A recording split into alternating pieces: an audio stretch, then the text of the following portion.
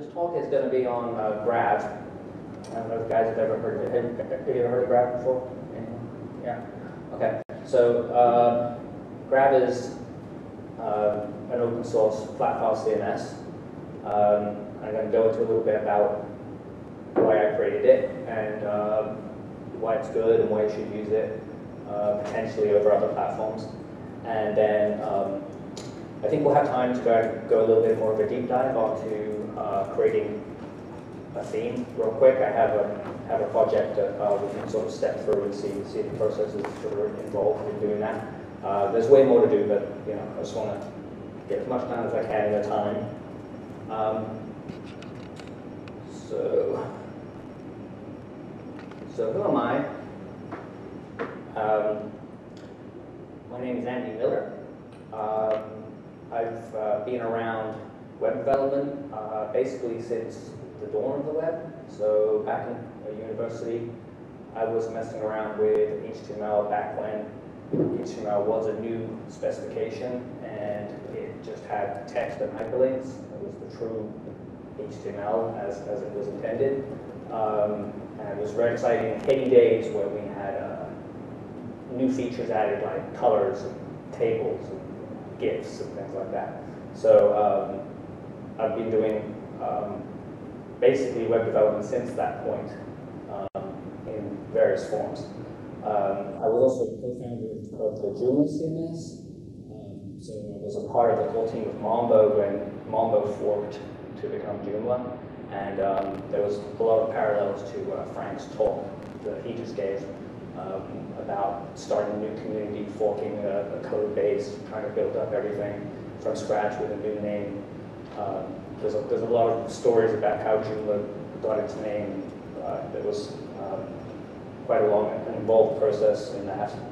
Um, I later went on to form Rocket Theme, which is a professional theme development company focusing on open source platforms, so Joomla and WordPress primarily but now also Grav.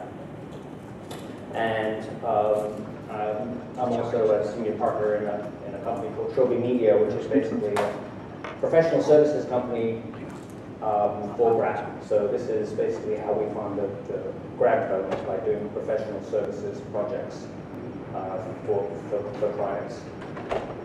And then I'm obviously the, the creator of Grav. So just a quick history of the kind of websites I used to work on. This was the first website I actually ever built for um, one of my professors at uh, the University of Florida. Um, and then after graduating, I went to work for Exxon, and I was a, um, a, a, very new employee of Exxon in charge of the corporate Exxon.com website, as well as the corporate firewall. And that was the entire Exxon Corporation coming through one pipe in, in uh, Houston, Texas. And I was in charge of all of that. I had the keys. Um, it was a little bit overwhelming. A lot of security uh, discussions. Um, this is my personal website around 1997, um, sort of dabbling in web design at the same time, and this is sort of the height of 1997 of web technology here. Uh, this was a project I worked on in 1997 for the George Bush Presidential Library. This was all custom active server page development at this time. Um, and then by about year 2000, I was doing uh, was uh, startups, and uh, this was a big startup. Uh, had a lot of VC capital, and it was a bid for real estate. So it was the eBay of real estate. Um, and we built all that stuff from scratch, all in Java. Um, and then this was the Rocket Theme website that I started in about 2005. So what's the point of having another CMS? We got a lot of them, right? So the main issue that I have with, with most content management systems, and I've worked with a lot of them for a long time, is um, they're not very fast usually. They're, they're, they, they incur a lot of overhead, um, so that's why static file generators have become a popular option, is to get back to that sort of raw performance that, that you should have for your website. And also people's um, attention span continually gets shorter and shorter, so unless you can grab them and show them all the information in the first few seconds, then they're bored and they've moved on. Um, obviously, content management systems get more complex uh, as you add more functionality to them uh, to a point where they just become overwhelming to work with. Um, big problem I have being sort of like a designer and a developer is um, a lot of content management systems sort of require you to uh, to work with that content management system. So they have a lot of like uh, presentation logic in the core, and you have to work with that. Or, you know, you have to extend it and then constantly keep track of what you changed. It's it's just quite complicated to um, um, to create a design that you've come up with on a particular platform. You may have to make some some sacrifices. Joomla was notoriously bad at this. Um, you know, we would get uh, designs from a web designer and they say, I want the, the, the, article page to look like this. And we'd have to say, well, this entire section is coming out of Joomla. There's only so much we can do with that. It doesn't have this and that. We'll have to sort of just make it look close. So what you ended up doing in, in Joomla world is you could instantly tell was a Joomla website by looking at their content articles if it had little icons across the right for PDF and print, and that's just the way it came out of Joomla. Um, of course, with CSS getting more powerful, we were able to manipulate it more, but back at the start, there wasn't much you could do. Um, also, extensibility. So obviously, most content management platforms have plugins and things like that, but they're quite limited sometimes or can only manipulate things in certain ways. So I wanted to make sure that the, the CMS I wrote, you could extend pretty much anything you wanted to. Um, on the topic, topic of security and updates, obviously this is a well-known problem with WordPress constantly having, you know, security issues. It's, it's, it's just a, a common situation when you've got a platform where you can edit content. It means it's not that hard for someone to get in and edit the content. You know, I mean, you're providing them with with a, with a mechanism. You're just trying to block them. So I wanted to make sure that, that, that my solution addressed this in the best way so you can easily update um, you know, the whole process of, of uh, getting bugs fixed or security issues fixed was, was quick and easy. Um, so obviously extensible via plugins and I wanted to make sure that, that the new system was enjoyable to work with. Um, I was really tired of working on these other platforms, WordPress and Joomla. I always felt like I was fighting against them instead of it working with me. Um, so I wanted to make sure that, that in whatever I created, it was actually fun to use, and I enjoyed web development again, because I was sort of getting really tired of it all. And um, on the licenses front, I'm not, going to get into the licenses argument, but um, Joomla was a GPL licensed CMS, as is WordPress and Drupal. And GPL is a great open source license, except it's, I find it too restricted in that you have to re-release stuff if, if you want to, um, if you want to make changes to it, you know, you keep it eternal, that's fine, but if you want to share those changes, that needs to be GPL too. So basically, you have to have everything compatible with GPL, even things that, that you use. So I wanted to make sure that the license I use was even more open. So we use the MIT license, which means it's much more flexible with other different kinds of licenses. Um, and there's really, you don't even think about it. So license is not even a question. So the one thing, the things I wanted to make sure that the new one had is it had to be fast. I wanted it to be flat file.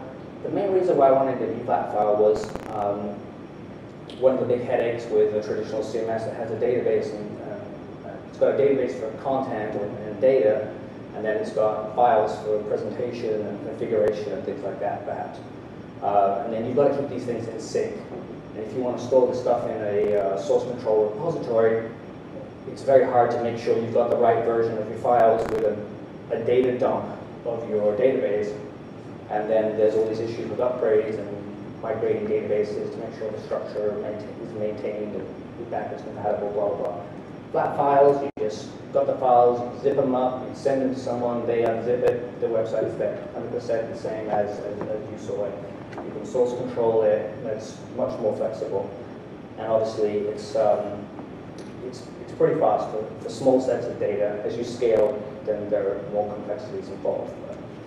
Um, I wanted to use Markdown content instead of HTML. That was just my personal choice because I really like it. Um, and it was gaining popularity around the time I was I was starting to write this. It was being used on GitHub and other places too. Um, obviously open source, I wanted to use Twig for templating, which is, uh, Twig is a templating library for PHP, um, and it's pretty much the best one. Um, it's used in a lot of other projects, like Drupal 8 uses Twig, and uh, October CMS uses Twig, a ton of things use Twig. So it's kind of the de facto one. Um, everything should be extensible via plugins. I want it to be really easy to install. So basically, to install Grav, you unzip it. That's it. You just unzip it, and you point your browser at it, and it works. Um, and I wanted it to be fun to use. So, obviously, um, these are some of the, of the, core features that Grav has. So, uh, from the first day I started writing a line of code, one of the first things that I added was a debugger, like a debug bar that I could see on my browser and showed me the performance of, of the code. So every time I would make a change or I would do something, I would always be optimizing, optimizing, optimizing. So the, the, uh, I rewrote the core logic for how the pages work probably about 15 times, just to think, just every single time I got an idea to slightly tweak it, um, I was just performance optimizing it. And even to this day, the speed is the number one thing that, that, we, that we focus on. So everything we do is, is related to speed. Um, it has a lot of modern features inside of the CMS itself, like like uh, the SEO friendly um, not an option. Like in Joomla and WordPress, it's an option if you want to turn on like the friendly URLs. In in Grav, it's requirement. You have to have uh, you know, rewrites on your um, web server um, or mobile um, has a built-in package manager, so this makes it easy to install stuff and find stuff and update stuff. So um, that's that's built-in, um, and has quite a few uh, plugins. I think we're up to nearly 300 plugins available, and they're all um, open source plugins. Um, we have a very active community, so this is something that I took from my experience with the Joomla core team, um, how to sort of focus on helping people. So we have, we're very accessible. Um, you know, I actually created a project that I'm still involved in daily, answering people's GitHub questions on, uh, on our Discord chat, answering questions. We have a forum. Um, there's just a ton of ways to reach us.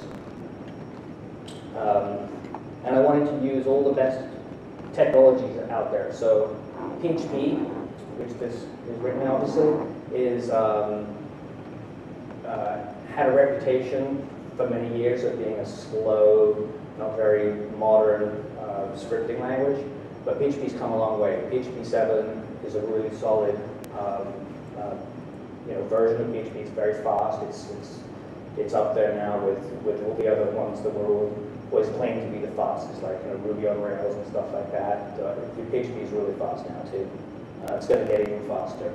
And, uh, and what has happened because of that is there's now a rich community of, of packages that, that you can use. So just like in the JavaScript world, there's there's, there's there's npm and there's all of these packages available. There's a ton of stuff for PHP also.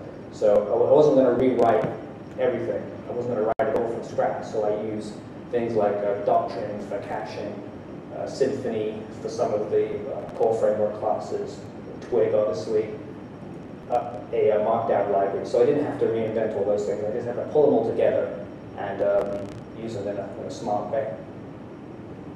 So quickly run through some of these. So just some of the, the main things, the, the flat file um, nature, the package manager, has environment configurations which is kind of like in uh, Laravel, if you've ever used that, but it's, uh, it, it allows you to have a folder um, for like localhost, and then you put configuration overrides in that folder, and when you're on localhost, you'll use those.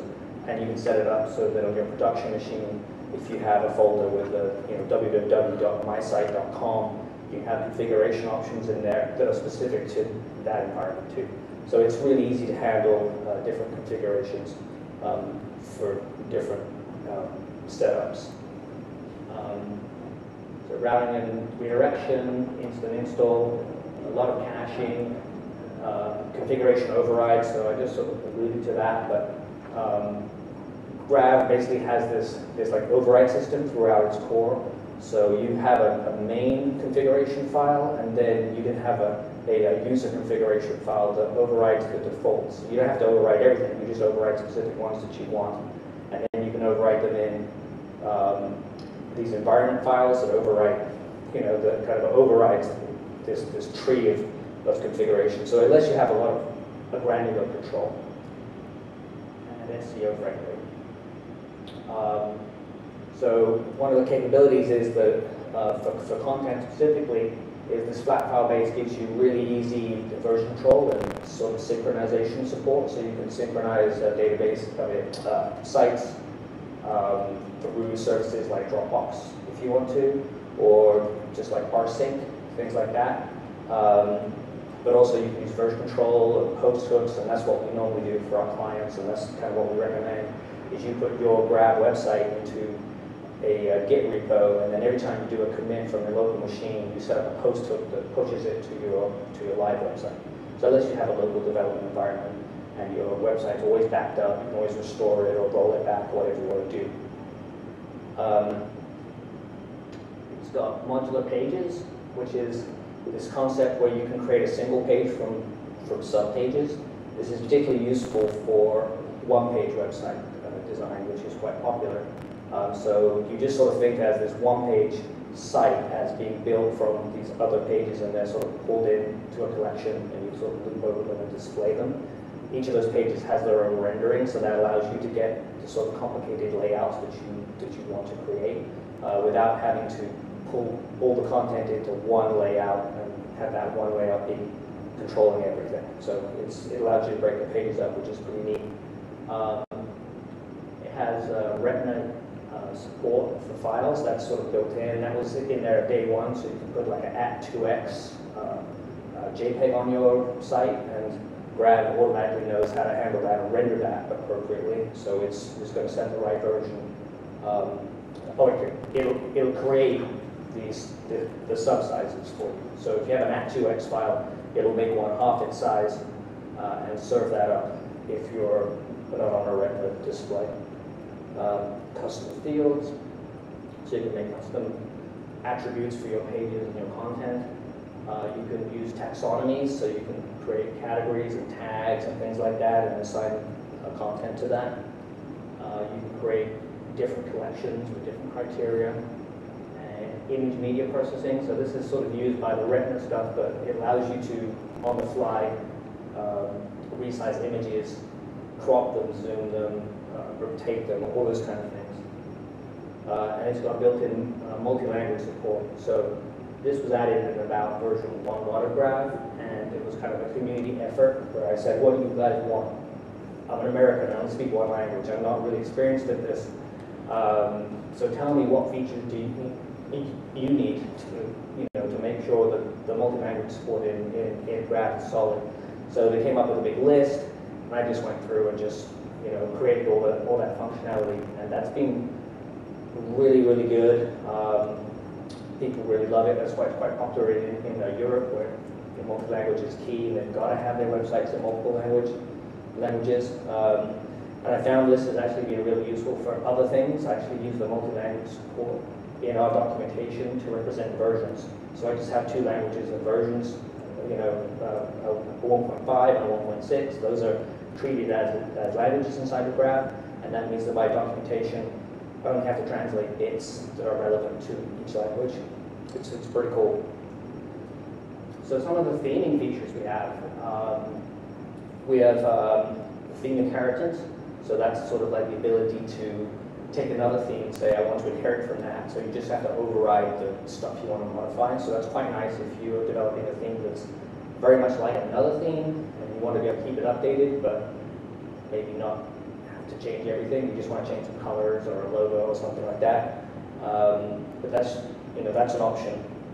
Um, the asset manager is a, a nice way to add CSS and JavaScript to your uh, to your output, and then you can control that.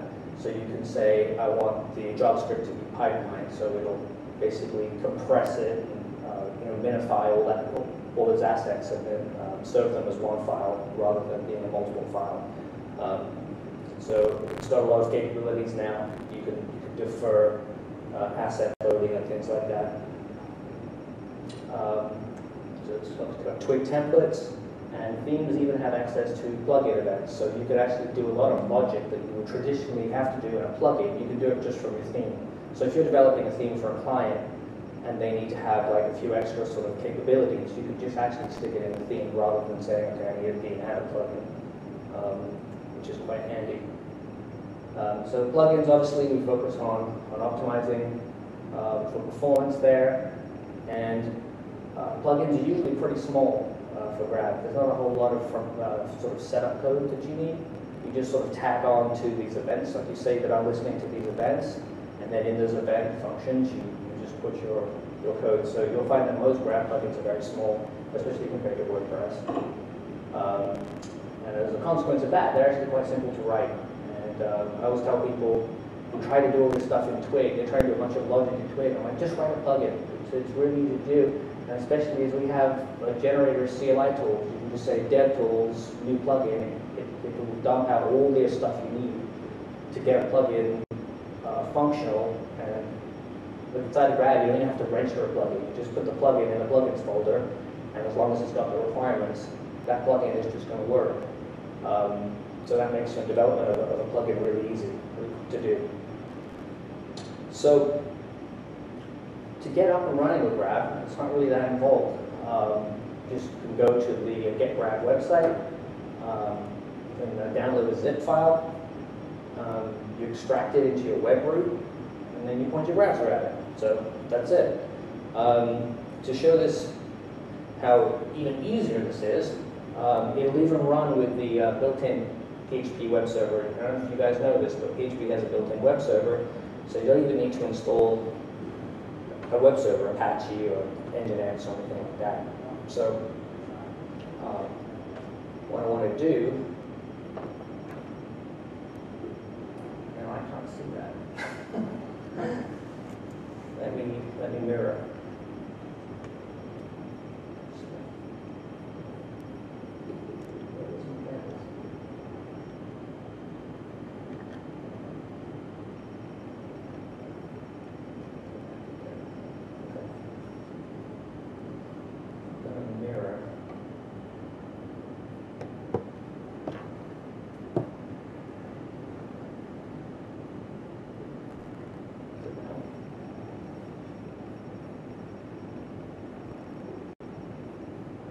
Just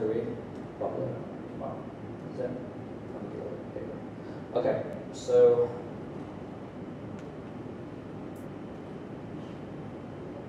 you guys are comfortable with the terminal, right? You guys are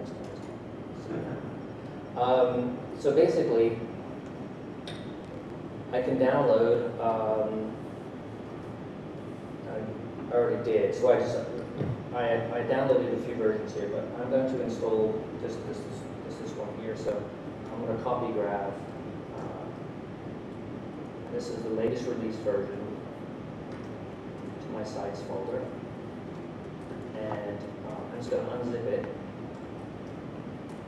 And it's going to unzip into a folder called Grav. And then I'm just going to go to Grav. And that's it. So that's it with some just a one page of, of, of a home page and then a page of some software typography. Uh, but that's that's the base install of Grav. It doesn't come with an, like, a, like a GUI admin by default. That's, that's, that's a plugin you can install. Um, it just, can kind of look in here, and I'll kind of go into a little bit about the, the folder structure, but um, so, oops. Um, the folder structure is quite uh, standard. So all of Grav stuff is inside of this like system folder here. That's that's all of the logic for Grav, and everything that a user does is in this user folder. So you can put the user folder in source control, and that contains everything. It's going to have your content, your configuration, your themes, your plugins, any um, data that you create and uh, generate or, or you need. That all sits under the uh, user folder. Everything else is is uh, sort of either uh, the system or it's like a temporary caching type, type setup. Um, and the vendor folder, um, a composer-based vendor uh, requirements. So this can be reinstalled if you need them. Um, So that's it, and you can also install from uh, Composer. So you can just do Composer, uh, create dash project, you use the getgrav slash grav, which is the GitHub repo, and then a directory. So I can install it directly using Composer. Uh, This is going to go and grab the repo, and then it's going to run um, the install script. A lot of these um, uh, vendor files are actually for testing, so at the end they're, they're removed. So you can kind of see this, because it installs everything. Uh, and then it's cloning in four things. So it's cloning in the problems plugin, which helps address any like server setup issues it sees. Um, a couple of other plugins, and then Quark is the theme, the default theme. So that one installed a different way, but it was just a one-liner. And then I can point there. Now, just to show you that this will actually run um, with the PHP web server, I can do uh, PHP S localhost.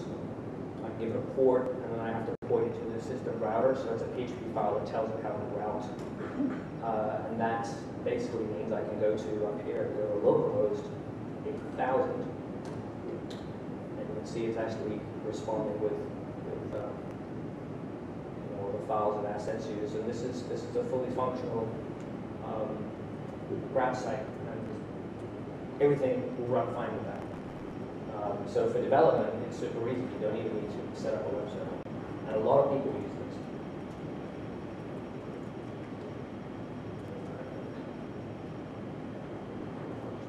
Okay. So, um, so that's a quick demo there, Again, this, getting Grav up. So, so just to run through the folder structure, uh, the assets folder is where any generated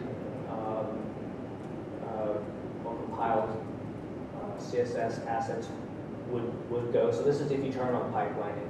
So pipelining in the asset manager is basically taking, you know, bootstrap.css and your custom theme.css and any other CSS files, minifying those together, compressing them, and storing the output of that into this assets folder. And that is then served rather than those individual files.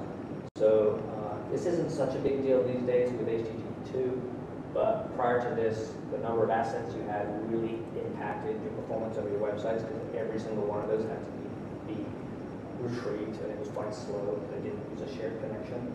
But with HTTP2, uh, a connection is maintained, so uh, it's much more efficient than it used to be.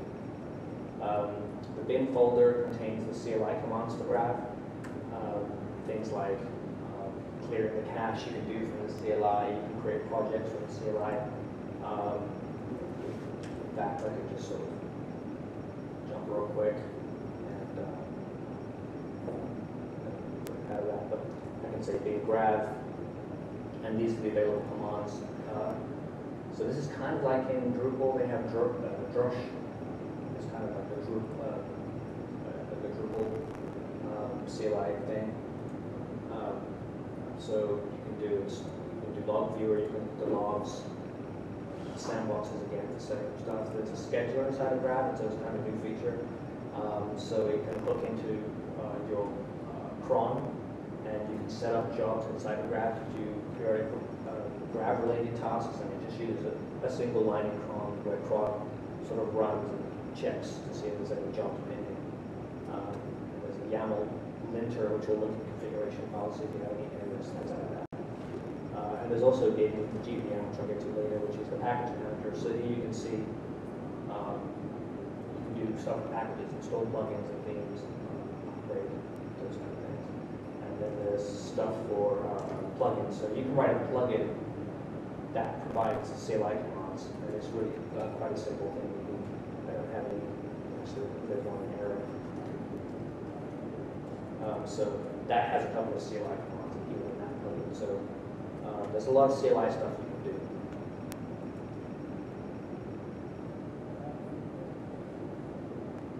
Um, oh.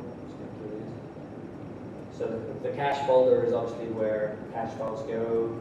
This folder is where any processed um, media stuff goes. So if you resize um, JPEG or something, we, we crop it, that, that cropped version will go here. It's sort of temporary um, until you clear out that particular cache. Uh, the system folders where obviously all the core Grav goes, and the user folders where the user stuff goes, and then there is for where the vendor goes. it's kind of, kind of obvious. So the most important folder is the user folder. This is what most people have to deal with. So we have an accounts folder. This is where you can create user accounts. Um, we have a couple of approaches on, on how to do that. Um, then there's a data folder where um, anything you to store, maybe some, form submissions, um, or some other kind of data that sits outside of traditional content, it can be stored in there. The page folder is where your main sort of pages go. This is what actually builds your website. You know, this is like the home page, the blogs, all these kind of things.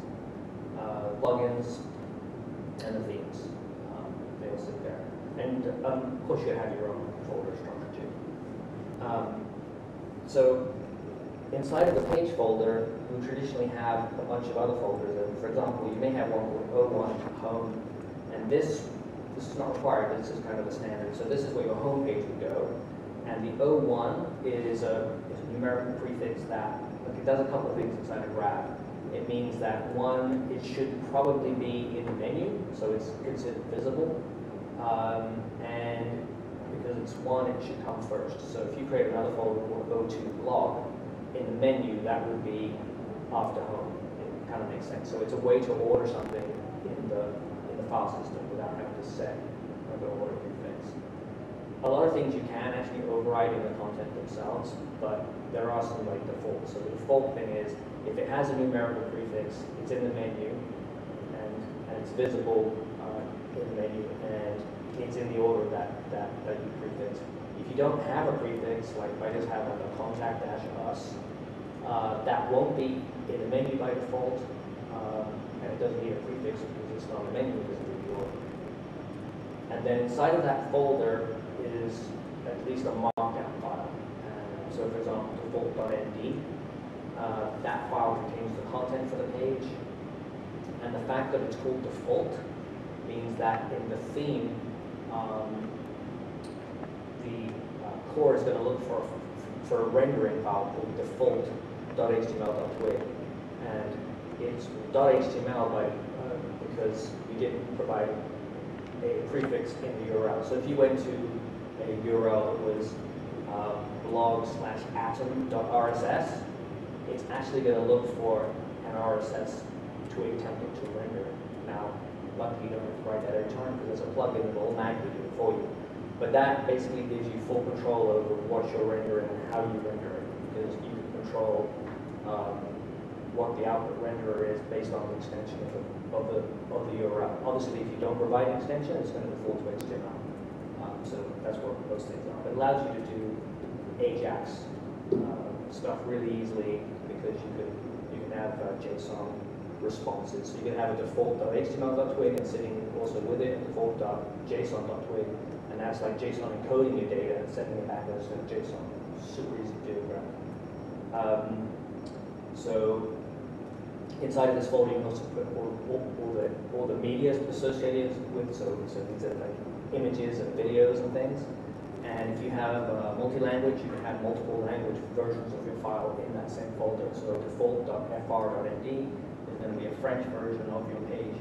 And if, if, if you don't have the, def the default.fr.md and you're in French mode, it will fall back to default.md. You can actually configure your, your, your, your language lineup so it can fall back to English if that's available, and if that's not available, then to Dutch, and if that's not available, then to the default file if that's available. So it can kind of fall back. So just to cover, just to recover, the numeric prefixes are for order visibility, and the folder name defaults to the route. So what that means is if the folder is called o1.home, then you can reach that by going to your website slash home. Uh, if inside of o1.home you have um, you know, a folder called blah, then you can reach that by going to home slash blah. So the folder name in your file system dictates the slug structure of your URL, and you can override that. So, so the folder structure is the auxiliary to the right one? Not the taxonomy, it's the, it's the navigational architecture. The navigation. Yeah, yeah. That's what I mean. Yeah, so, um, but you can override it. So, for example, if you wanted your URL to be different in, in French, you could set the slug in the French uh, content file to be something else. And Grav will pick that up. So it allows you to completely control the, uh, you know, you know, your URL structure and the navigation, just through folders. So silly question, how, how do you link in the page from one page to another?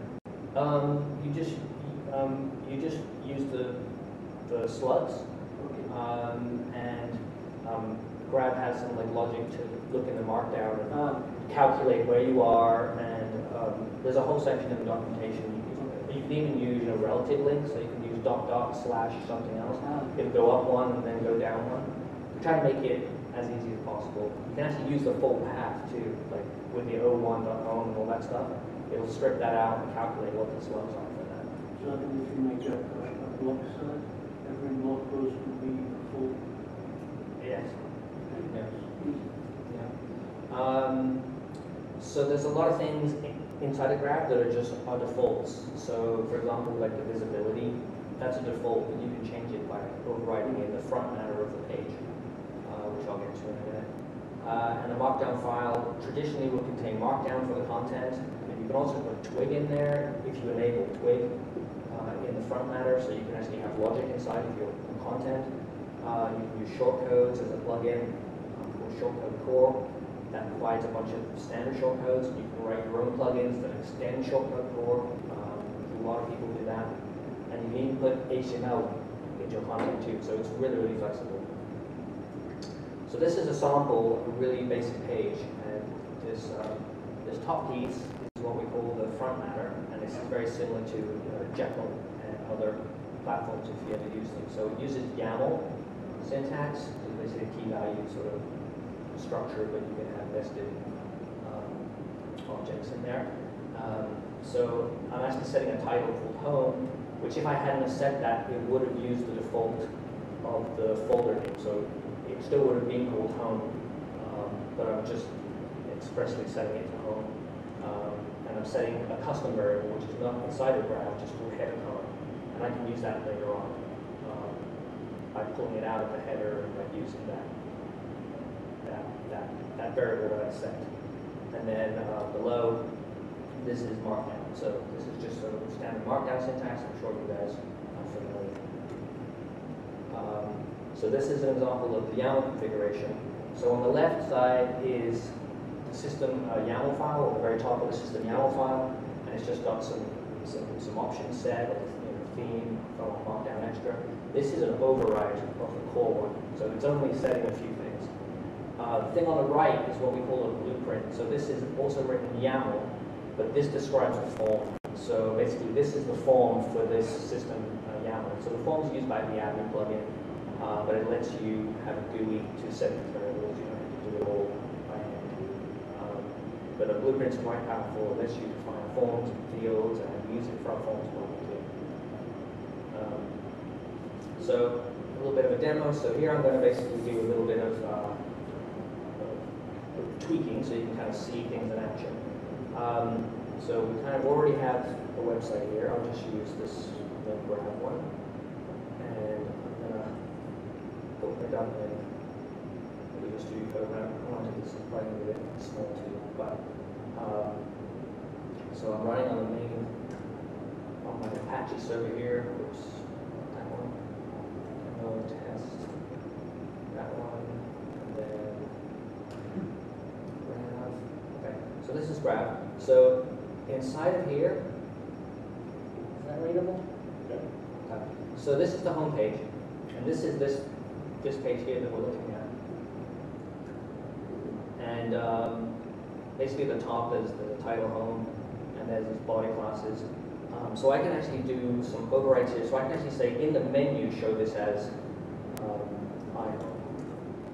So it hasn't changed the title of the page, but when I reload, it now says my home, but the title still says home.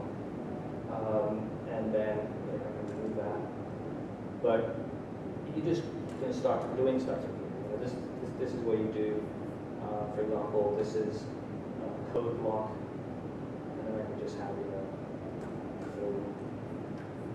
So that's now code block, so I just, I just create a little code block up there. I mean, that's as easy as it is for, for writing stuff.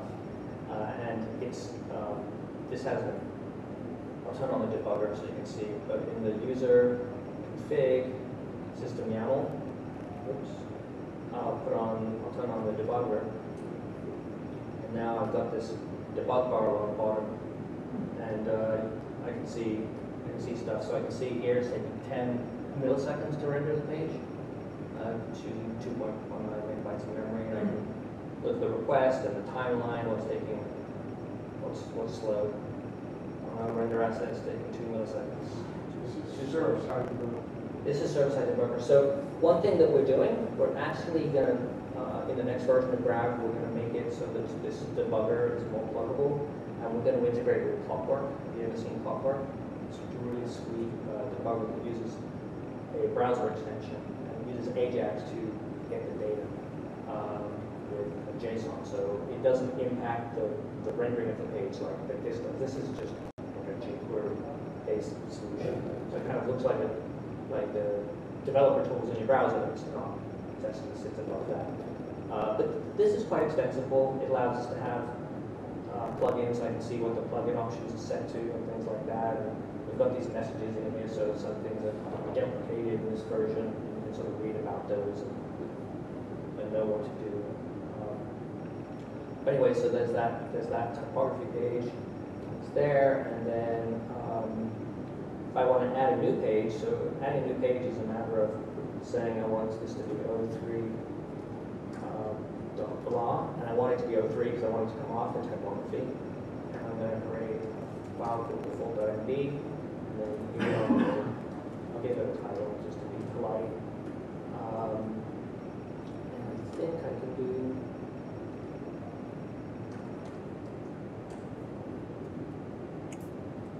We'll go lorem ipsum there. So that's all I did. And if I reload it, I've got a page, shows up in the menu and my content is there. And then what's kind of cool is, let's see, I'm gonna put this stuff. A lot of Grav sites.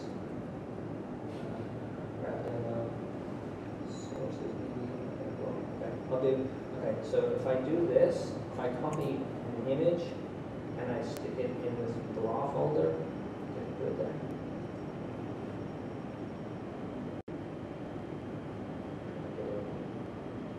So there's an image there called Defender. If I want to glue that, I can just use the markdown syntax and say um, Defender.jpg. And I don't have to put the full path or anything, Grav's going to know that it's there. So if I load it, now that's in there, uh, but I can do cool stuff. I can say crop zoom equals say uh, 800 by 200, and it's cropped me. Obviously, that's not very precise, but uh, the there. Oh, yes, it's 1200. It's a little bit better. The is there. Um, and I can I can do I can do other stuff. I can do. Um, setting. Now it's like a. So there's a whole ton of stuff. So a lot of the stuff that I'm doing is all documented here. This this this learn site is all written inside of Grav too. And if you find something that, that you want to modify or fix, so this whole thing with the media, um, there's all of these functions you can do. See all these resize, contrast, negative, edge, there's examples what they are, but if you need to modify it, you can on edit, you go to GitHub, you make your edits, it'll do a pull request, we'll merge it in, so it's a very active uh, community there for, for, for developing that stuff. Um, yeah, what else did I say I was going to do here? So I did, uh, okay, so page linking, you're asking about page linking. So if I wanted to link to another page, um, I could, could say, I could link here, like in the syntax for linking, markdown the square brackets around what you want to link, and then the path. So it's almost similar to this, but there's no bang in front of the exclamation point. So if I want to go to typography, I can just do dot dot typography. That'll go up a level and then into typography. Or I could say, I know topographies of the root of my website, so I'm gonna go to slash typography. So I'll just do that, and then, um, so when I'm there, and I click on that, go to easy. Um, but you can do more complicated go up and down multiple levels, um, all kinds of stuff like that. Um, so page linking, so we added some media, did a little bit of manipulation. So override header option, kind of do that with the menu. Um, Custom header fields, use twig, okay, so, um, just to show you the, oops, just to show you the power of twig, I could put, I could put a, a variable in here, say, um, say colors, and I can do you know, red, blue, green, so that's an array, and then I can turn on twig processing, I can say process, twig, true, and then in here I can say, um, I'm going to do an each, H1 tag, right, but um, I'll just do it with markdown, I'll do H1, uh, channel 1, H1, and I'll do style equals color, and I'm going to use twig here and say um, page dot header dot colors, and going to say. I'm not sure, I might have to double check that one. Um, and I'm gonna, actually, know what I'm gonna do? I'm do, I'll just set a variable. Set color, and and this is twig, twig language. Um, page header, colors, random. And I'll reuse that variable. Color. Color. Might not be random, so let's see if it works. Um, what page am I on? Okay. Let's, uh, let me turn off the caching, just to make sure.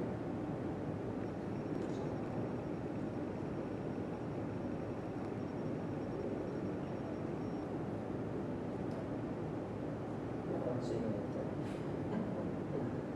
Uh, Lord. Turn down to the timer.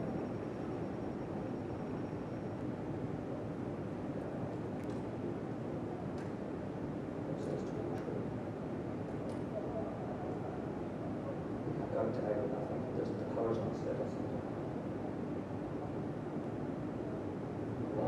No, it's not, random, so obviously it's something else. Let me just quickly check it, I don't remember.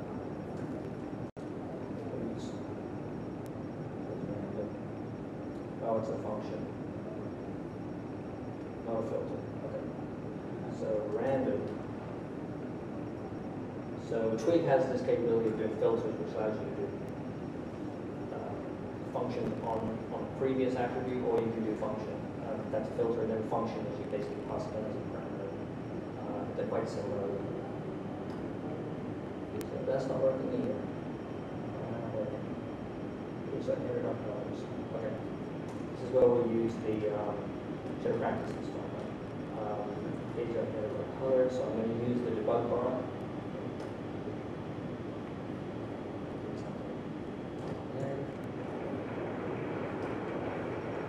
So, well, that worked.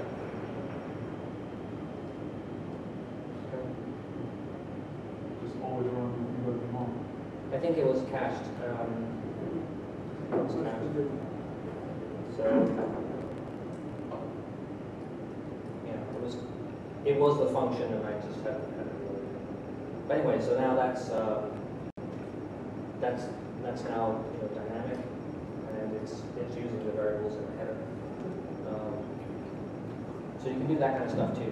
I, I, I- don't recommend too much of that logic in there, but sometimes it's useful to, to just have all your logic one relevant to the page.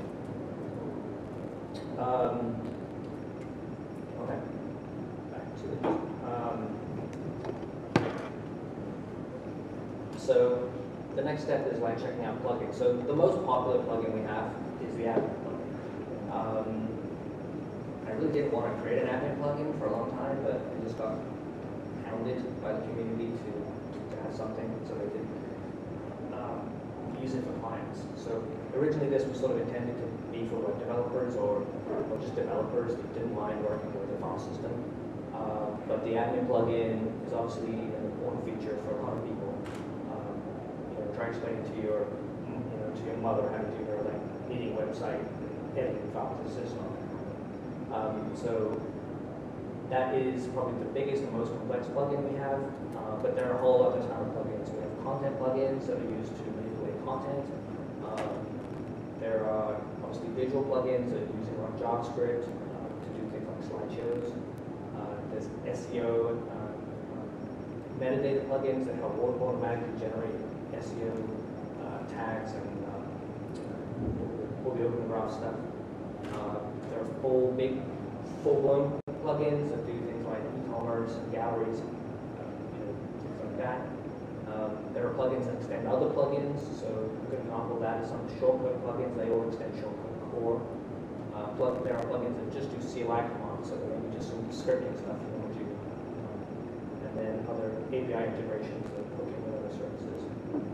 Um, so to install a plugin, you basically just drop it into the, um, a folder.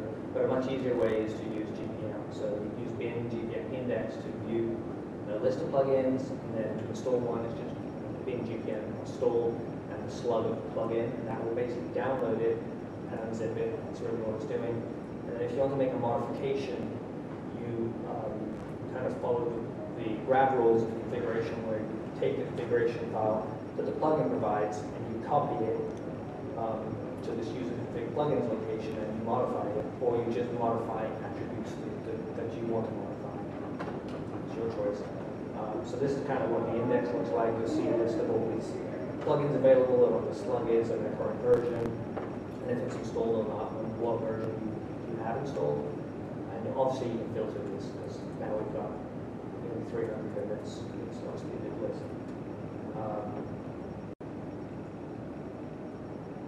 Oh yes, we also have a table and a, a, a stable and a testing um, release. So you can create a plugin, but you may not be ready for prime time, so you tag it testing. So only people that have the testing options set will see that. Uh, but it's a good way to tell your friends, hey, I'm, or your coworkers, I'm, I'm testing this to make sure you're on the testing uh, option for GPM, uh, and you'll see it. Um, so quick with plugins. Um, kind of show here what it's like in GPM. So I can just say in GPM index. A little slow here. Getting the data the first time. So it should be faster the second time around. Um, so these are like plugins that are available. Uh, and also themes. So there's a hundred free themes that are available now. So to install one, for example, we have on this site, um, on this homepage, we have a couple of code blocks here. But so I can install bin GPM, install Highlight, which is Highlight.js plugin.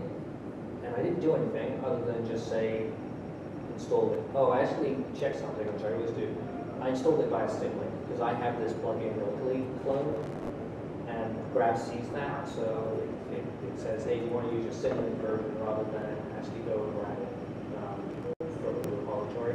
So I, uh, that's a nice feature, especially during development, because I have a whole bunch of plugins that I have cloned. In fact, I have every Grav plugin cloned, and uh, it lets me like uh, debug those really easily uh, because I can test them in different environments that will symlink back to the same clone.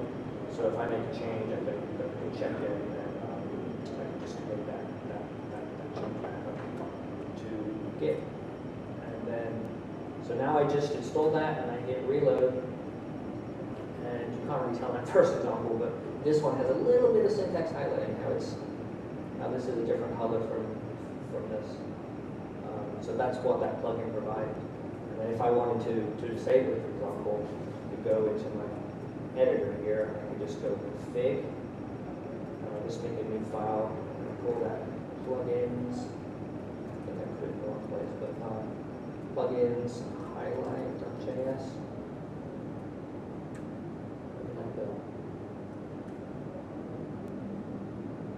Okay, I stuck it, I think supposed to be in. Um,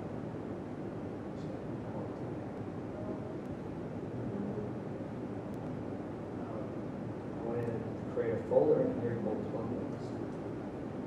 Um, Highlight JS to be in there. Okay, so now it's in user config plugin values, and I can just, here I can, I can overwrite stuff. So if I wanted to disable this one, I can disable it false. So now I reload it. Um, oh. User config. Moving the system. Oh, I did. Exactly right. It's, um, no, I didn't. Oh, user config. I write down JS.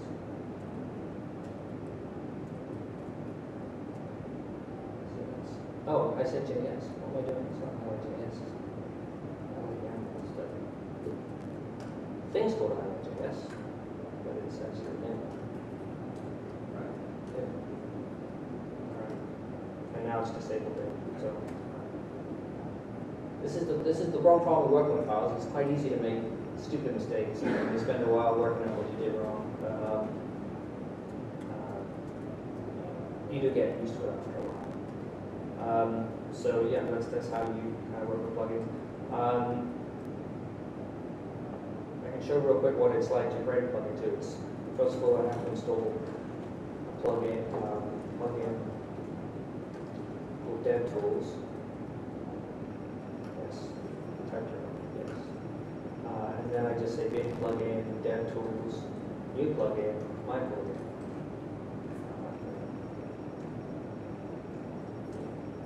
It this way, my plugin, um, test plugin, developer intro media, intro media. And, this is just so we can fill out some of the, of the files. So now it's created a little test plugin, if I reload, I actually see this sort of, this, this thing up here that says custom text added by my plugin. And, uh, I can go and see what it did underneath user plugins, uh, my plugin.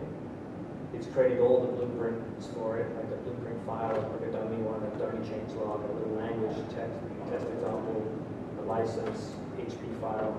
And this is where this code is happening, so it's saying on-page content raw is, is enabled for this plugin. And then I just have a function that's basically um, responding to that. It's getting a variable out of a config option, it's getting the page content and sort of appending this text I pulled from a configuration file and sticking it in front of the content. That's all this is, basically setting the, the content, the raw content back on the page. And that's how I dynamically add this. Okay, this is purely just a sample, you do it if you want. Um, So that's just a real quick plugin, obviously I don't want that one to be shown up, so the on the plugins here, I also have create a new file for my plugin.yaml and save it to. So now that should show.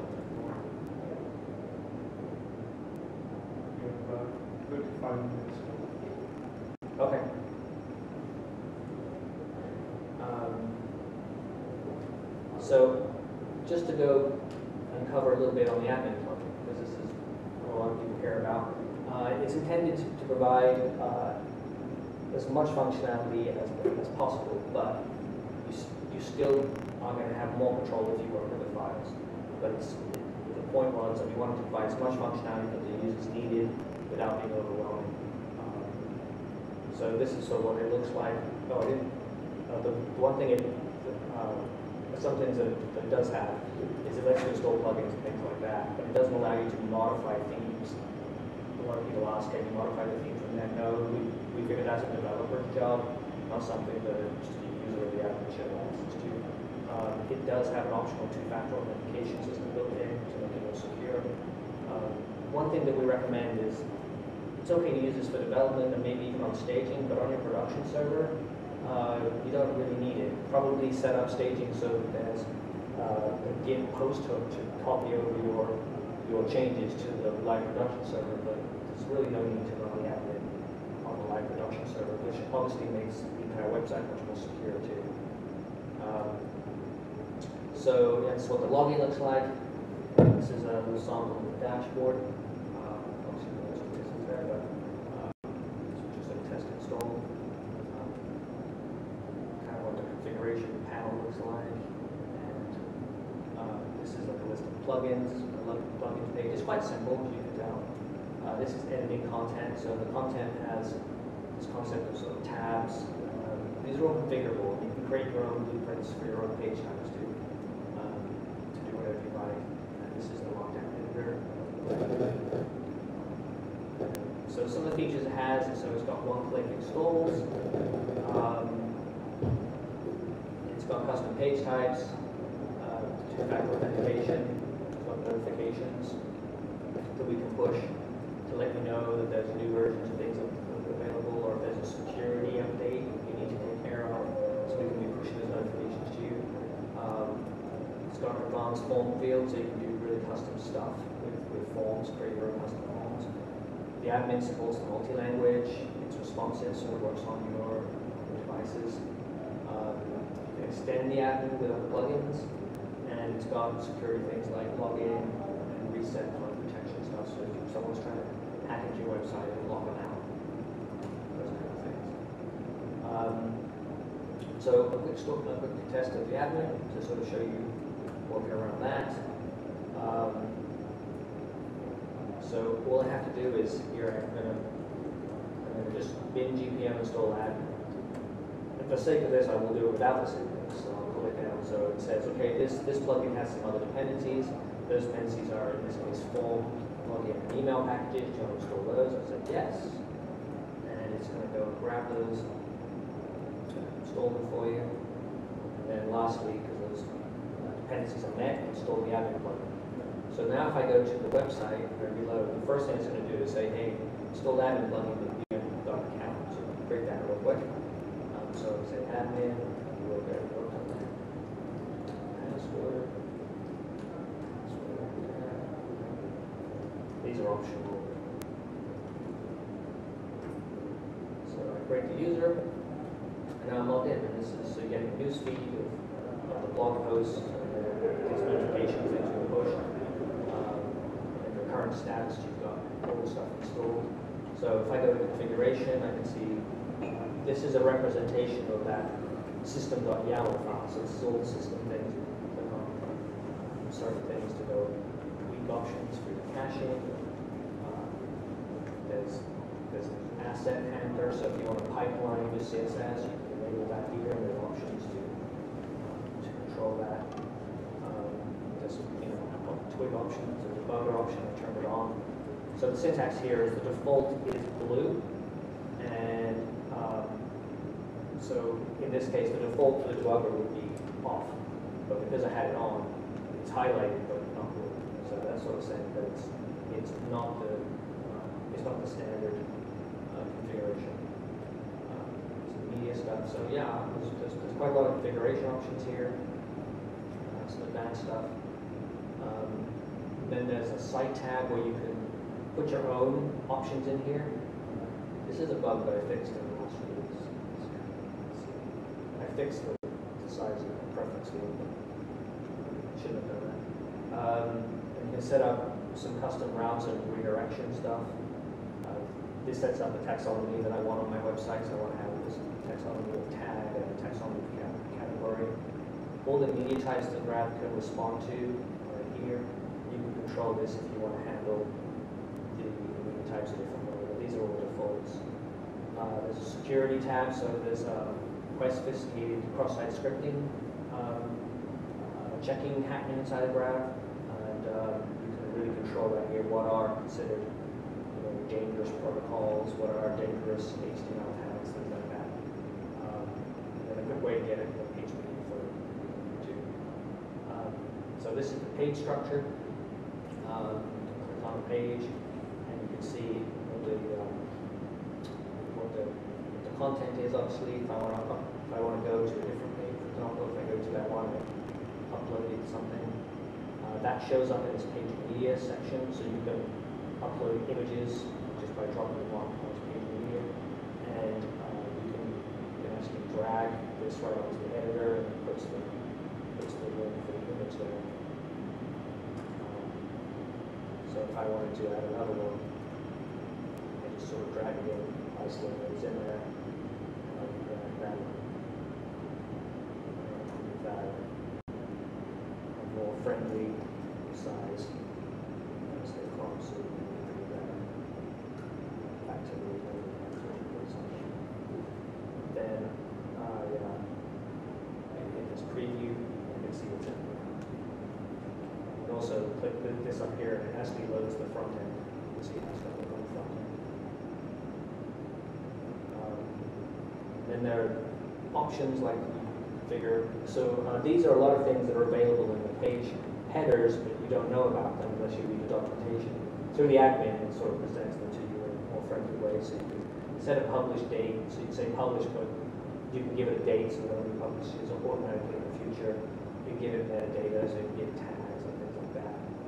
Uh, Then in the advanced options, you can do a lot of overrides, you can you know, change where it is, you can give it body classes, you can change the menu with a slug, you can redirect from this page to another page, control how it's cached, it's routable or not, so, like the routable thing is useful if you want to include this page in another page, but you never want someone to go directly to this page, because it's like a little author block or something, so you can uh, do that kind of stuff. There's a very uh, useful plugin called Page Inject, so you can basically create pages and then inject that page into other pages, so it's useful to, for like an author or something like that, where you want to reuse that content. Um, There's all tons of plugins. So that's sort of pages, and then um, his, his plugins you have installed, and if you want to add a plugin, go here and say, I want to install this Mountain plugin, and uh, it's going to download and install it for you, and now it's installed, and whatever this Mountain plugin is, you configure it.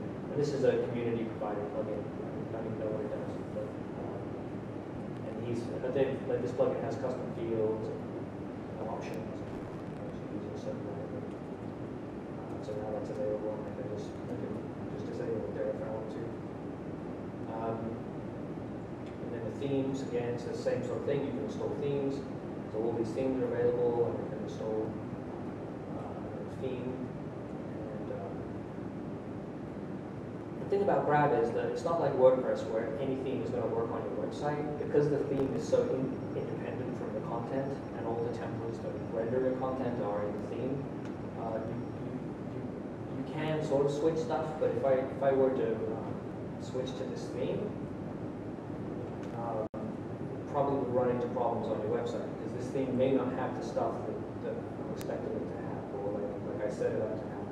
So actually, if I just click this, um, it renders, but it, it may not render the same way. So um, actually, this thing is okay. It, it works out fine, but it, but, but it's no guarantee because there's, um, for example, for our documentation website, that theme doesn't have a blogging because it never needed to have a blogging it's for documentation. So if I have a blog and I switch to the documentation theme, it's going to say, hey, I don't have a template that renders your blog. Um, so that's kind of normal. That's kind of expected inside of Grav because you can really tailor your theme to what you're trying to do. Um, it's actually a really cool feature of Grav. So some people have a problem with that because they're used to the WordPress world where you can write your content in a blog and then you can just start browsing trying themes and see how they look. Because all have to sort of work with the standard stuff. But inside Grav, there's nothing, it's not the standard. It's not saying you have to support this, you have to do that. You can do whatever you want. So that does mean that there is a bit more of a, of a tie-in between how you, what kind of content you have and what theme. Um, Okay, it's probably enough of the app. Um, Yeah, I'll show a little bit more of it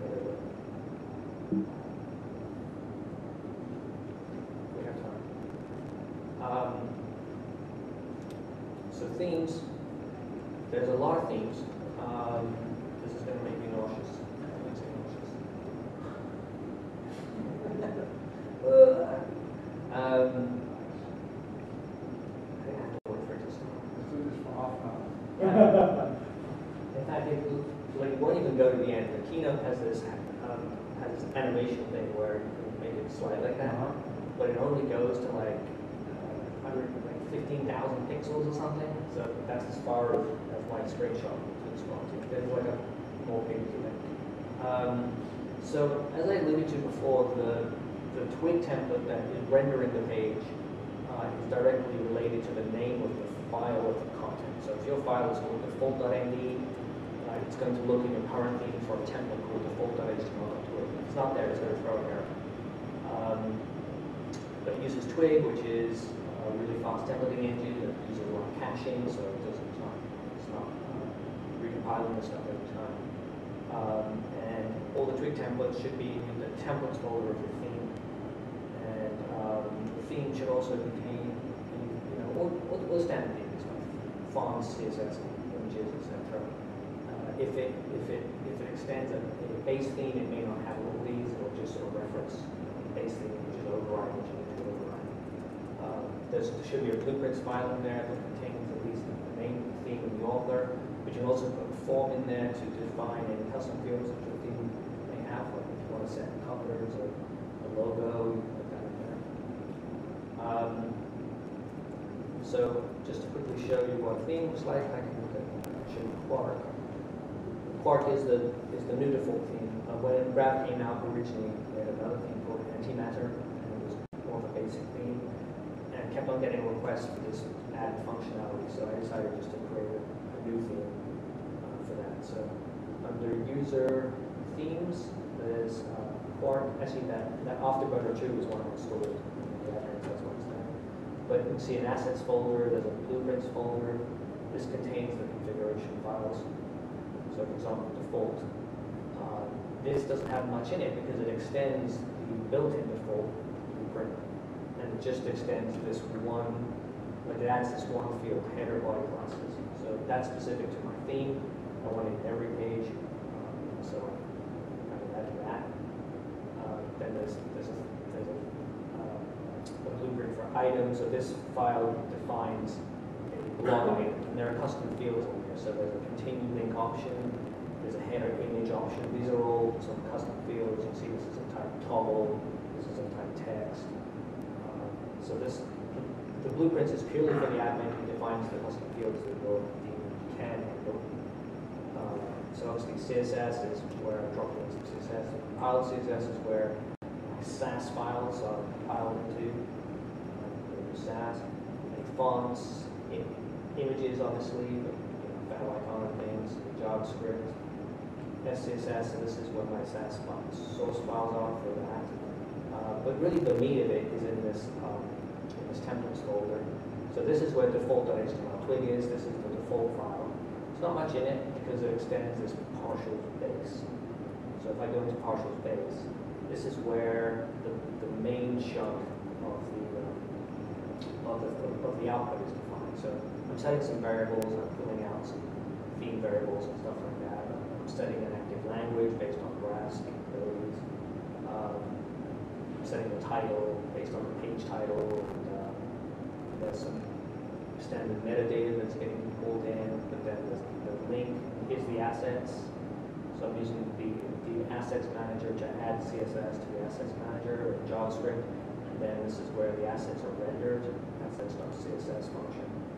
Um, and then here's the, the base HTML in some sections. Logo, include, just the, the mobile nav, um, any messages that are coming out of Grav of out here. You have complete control over all of this stuff. There- There's, there's no HTML coming out at all. It's just, it's just data, and then you decide how you want to render that. Um, it has its pluses and its minuses. This means you get more control, but you have to do a little bit more than you might in another platform. Uh, But you, you can reuse a lot of the stuff too. Like I, I reuse a lot of the stuff theme to theme. I just, like I, if I'm doing a new theme, I normally just copy form, and then I start making a change. And there's a cool thing inside of this, what I can actually do in, in, um, plug in dev, right place? Yeah. Uh, dev tools, new theme. So just like I did for new plugin, just go my theme, uh, test.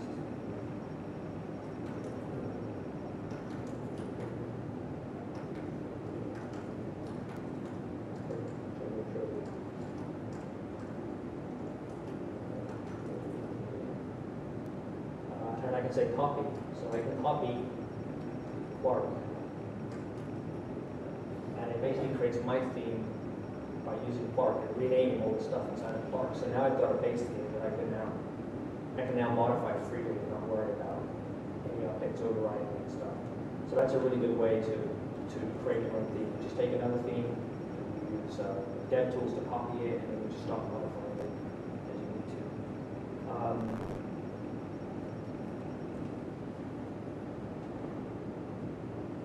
so,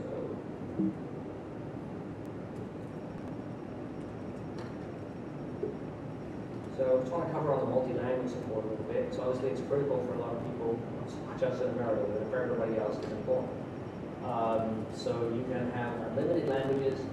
Um, you can even have uh, um, you can have uh, files that override uh, default language. The default.en.md is the English version, and then fr.md the French version. And if an fr doesn't exist, it will fall back to the next existing language. Control that.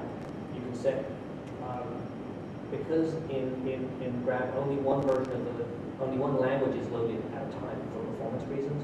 So if your browser has slash fr, it's only going to load French language pages. It's not loading all the English pages and German pages, just loading French pages. Um, so in those pages, you can set overrides for you know menus and routes and other things. You can even upload different different uh, pictures if you relevant to a particular language, or um, do what you want. You can also um, use a language-specific twig file. So for some reason in one language your output rendering be different, or maybe it doesn't have a whole section, you can have your own uh, twig file for that language. Um, and you can override the language strings in your own plugins and themes. You can override core language strings. You can do whatever you want to um, to modify those those strings. And it also works with environments too. So that's that's useful. You can have you can make complicated setups where in some environments you know different languages than in other environments. Um, do whatever you want. Um, so just a quick demo of how this works. I'm going to install another Grav site just to show you. So um, I actually have we have about 10 minutes, right? Yeah, fifty. Um, so I have another skeleton. So this, um, I downloaded some files here, and one of these skeletons is called Multilang. And I'm going to copy this into my uh, sites folder. And a skeleton inside a Grav is basically um, an entire Grav site. So it includes, if you download the package it'll have Grav, it'll have sample content, sample configuration, sample uh, plugins, it'll have, have the theme, and so it's everything. So you, you, you can download these sites right off the Grav website where they're just ready to go. So I, I, I downloaded this one called Multisite, and uh, zip it, um, and we'll name it.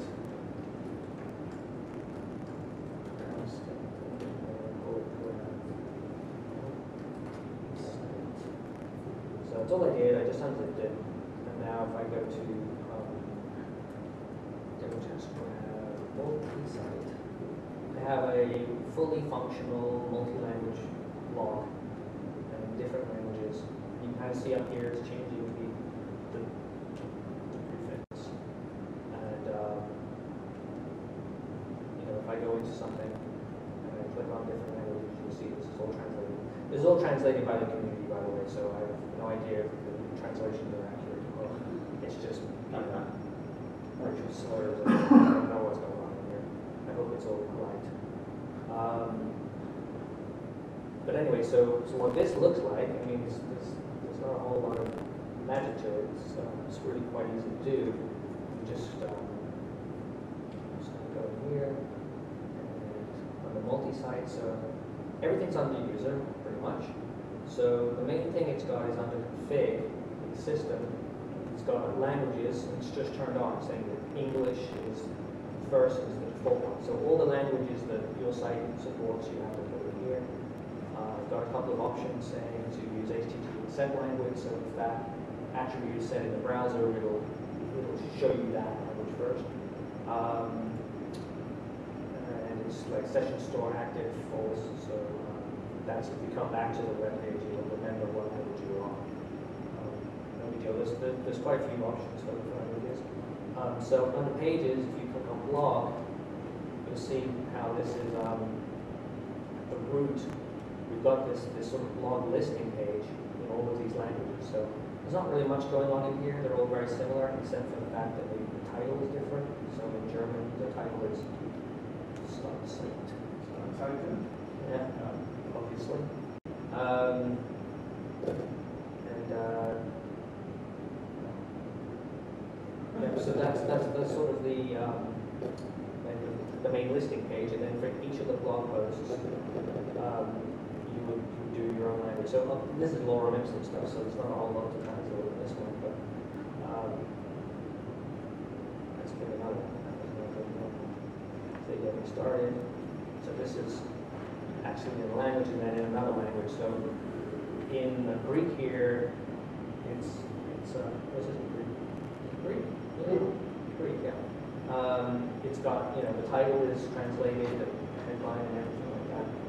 Um, so you can translate all of these header attributes as well, and they're just used. Um, so you have a lot of flexibility there. And I wanted to show you this in the admin. Um, so you can see how this looks in the admin. So do that, I'm going to install the admin. It there. But, uh, install admin. I will use the symlink this time. Faster. Slow the first time. Okay, so that's there. So now the create a user. I can actually copy a user account from another website on the simplicity. Um, so now I'm on the admin, and if I go to pages, you'll see that I'm in English, so there's a little EN there, and I can switch to, um, you another language. and I can see, uh, this all makes sense to you guys. Um, so, and there's not much in that one, but, um,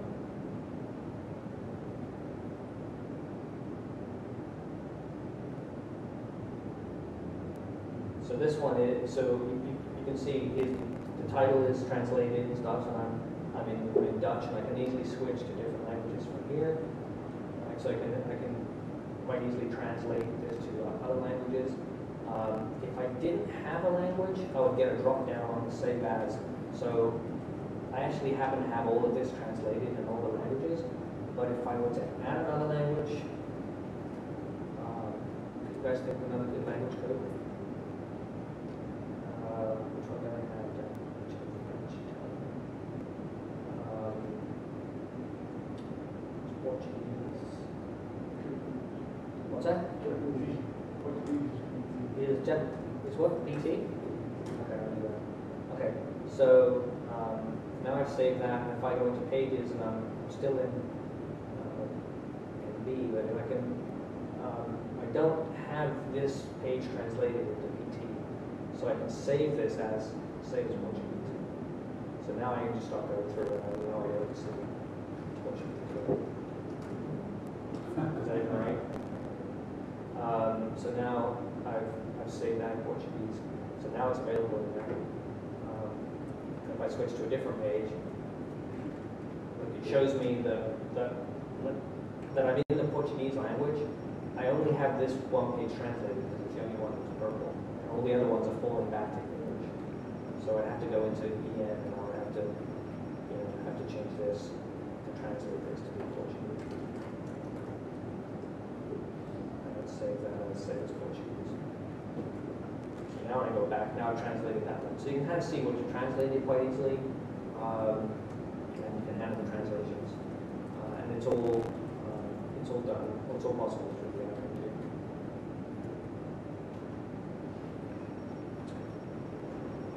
So, some sort of takeaways here. Um, so Grav is obviously um, a dynamic CMS, but it's award winning. Um, and we have the most stars of any PHP CMS on GitHub. I'm not joking. Um, even even you know, beating out some of our bigger more money-fed competitors, uh, October CMS and stuff like that.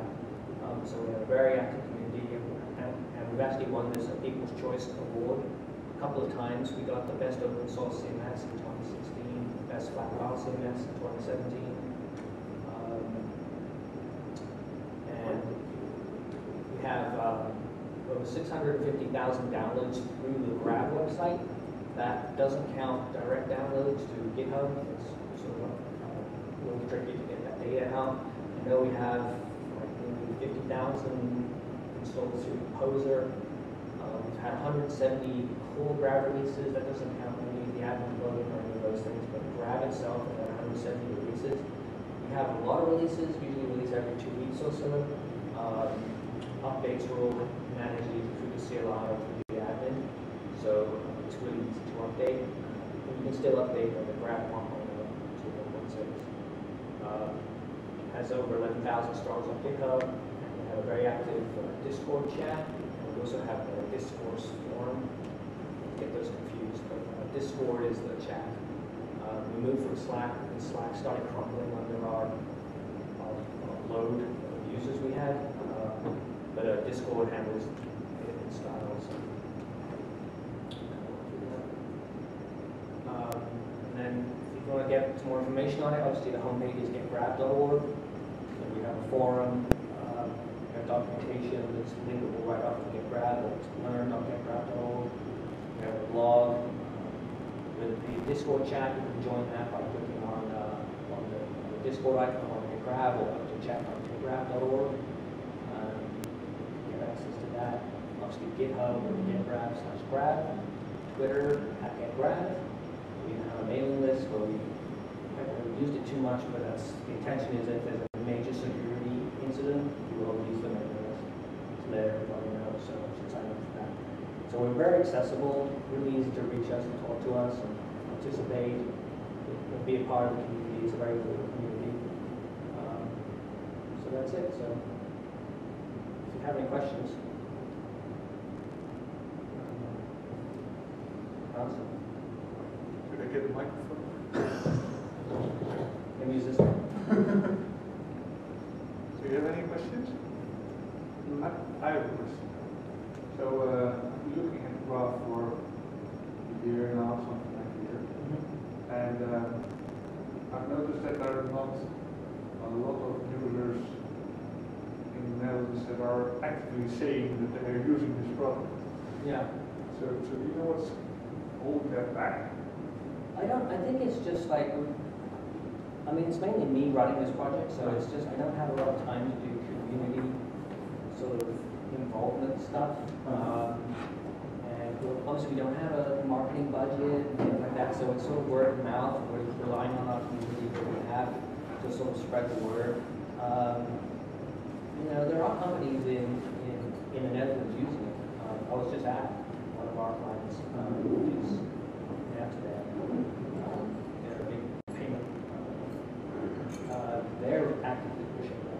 It's not just like they're playing it, they're, they're deploying stuff on it. They are going to conferences talking about that. you know. So, um, we, you know, like you guys probably know, in an open source world, we, we rely on uh, community members to of push it into the places they live. I'm in Denver area, so I do like a monthly meetup there in, in Denver. Um, so I just go and whoever shows up and whatever questions they have, if they're working on a project, help them out with their project, give them advice. I just think it's just, just part of the, part of the deal, but, um, you know, uh, I don't know what to say. I mean, we kind of, kind of need you guys to sort of promote it in the countries where you are. Companies fly around and do it themselves, so. um, Yeah, I, I don't know, how- I mean, it is popular in certain places, like, um, um, certain countries just kind of become popular. Like, It's quite popular in Poland for some reason. I don't know why. It just is, you know, it's, uh, they have, uh, I think certain countries in South America, it's, it's, it's popular. Um, In Germany, it's quite popular. Could be just, there's just a few people that are actively pushing. Yeah, well, I think also like in, in, in Germany, for example, it was featured in one of the print magazines quite early on. Uh-huh. So a lot of people heard about it early on, so that's why I people like, CP or something. yeah, uh, CP magazine or? it was like T, T, some- T three or something, I don't know, T. Oh, uh, not Playboy Street. No, no, no, I no. guess I saw some.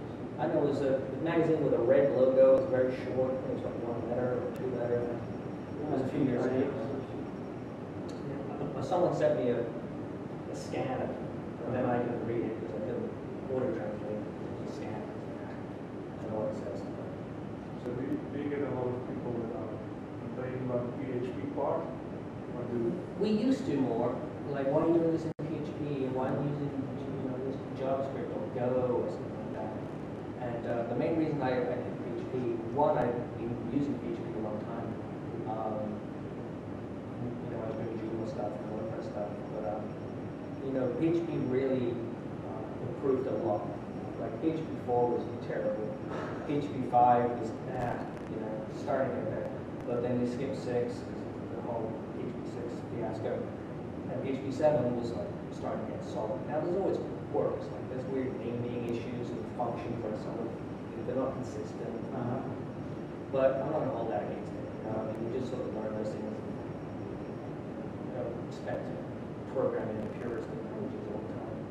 Uh, but I came from a Java background. I did Java in college when Java wasn't released yet. It was a, pre-beta, and I did my my my senior um, final project in, in Java, my computer engineering degree, and uh, none of my professors had even heard of it. Uh, this was a brand new language, and it was so exciting. And there wasn't any libraries for it, and I wrote an open source um, uh, gaming protocol for like, you know, like doing, uh, I did a tic-tac-toe game, you know, tic-tac-toe, and crosses um, game server, you could chat with your people, you could challenge your friends to play that game of tic-tac-toe. But there was nothing. I had to write it. There was a whole TCP protocol part on my job. But you know that was in a pure language, but it had nothing available.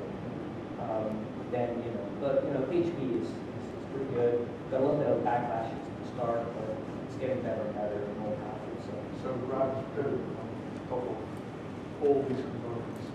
Yeah, so yeah, so basically, Grav is just like glue. You know, we're just gluing together, you know, a markdown parser with twig templating, with YAML configuration, doctrine cache, and some Symfony framework stuff for handling things like process management, uh, some of these things. The, the image library that we use is not ours. Um, if I had written all that, it would take me ten years to. But instead, I had a prototype of a Grav up in less than a week from when I started. I had something that to mark down and rendered it, had some preliminary caching in it and stuff. And then I started showing it to some of my friends, and they were like, "Oh, you know, when's the beta coming out? I'd like to try that." So then I started trying to get it a little bit polished, and then people started using it, and then they started using features and trying to balance it. Core, plug in, try to keep the core as minimal and as solid and just feature rich, but not everything, not the. So, So since you use a Twig template, the, uh, the, the render page HTML must be pretty pure because that's a comment I see now about the new WordPress five two one.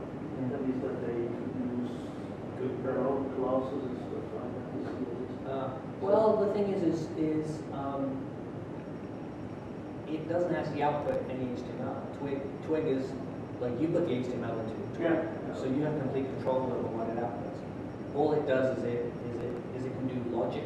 Ah, Did I show you any Twig? Not really, kind of did. Um, I did a little bit. So, uh, Twig is, uh, this, this thing is called. So Twig is, um, Twig is basically the, the curly brackets, it's like, uh, like a mustache language. it's the curly brackets, and if it's got a curly parentheses, that's not an output, that's, that's like a function or something happening. Uh, if it's got two curly brackets, then that's output. So that's gonna be output to the screen. So that's how you can output variables, the results of function and stuff. And then, so, so these sort of curly bracket with the break with the um, percentage is used for like uh, blocks, but also logic. So if I go into, uh, say, post, um, say, post list, there's a for loop here. So for posting collection, include this. It's automatically going to pass in any variables, so post is passed in, and then in post item, it's using post. You know, so Twig basically provides, know, function, um, functionality to HTML, so you can do logic in there. Um, but there's a lot of escaping, so it's you know, secure, it's, au- it's automatically escaping HTML. That's why, um, actually, this thing might not be updated, but that's why you use like raw to say, yes, it's okay, it's like safe to output the HTML. Otherwise, it would escape HTML, which is good for security, across that script. But, but it's very, But it's still readable. very transparent. Yeah, if like a designer, for example, uh, the Twig site's very good. They have Twig for designers and Twig for developers. So you- if you're a designer, you click on the Twig for designers and it shows you the stuff you need to know to write this sort of, this, this Twig code to write HTML. And then uh, Twig for developers is more like configuration, uh, optimization, things like that. But, you know, a designer can like look at this and it's not too bad. It's HTML, and web is like, um, like it's HTML with a little bit of logic, whereas in WordPress, for example, they don't have a template so they just stick PHP right in here. And that can get gnarly, you know, it just can get really ugly and complicated. This forces you to use logic in your presentation layer only when you need logic. And then anything complicated should be done in a plugin to generate data and make that, expose that data to the twig rather than doing all your logic inside of the twig, which is what a lot of people try and do. They Try and say, no, no, no, keep the, keep the HTML and the twig clean, as clean as possible. Because, um, you know, twig is very advanced, but it's not as sophisticated as a, as a person, so you can't go in and say, okay, I'm gonna optimize this and make this a variable or make this a function and reuse it. If you put it in, in, in this, it's just going to convert this into PHP, but it's not optimized. It's just doing its programmatic thing, just sort of converting it. It's cached and everything, but it's not the optimal way. It's better to leave the developers optimizing the code.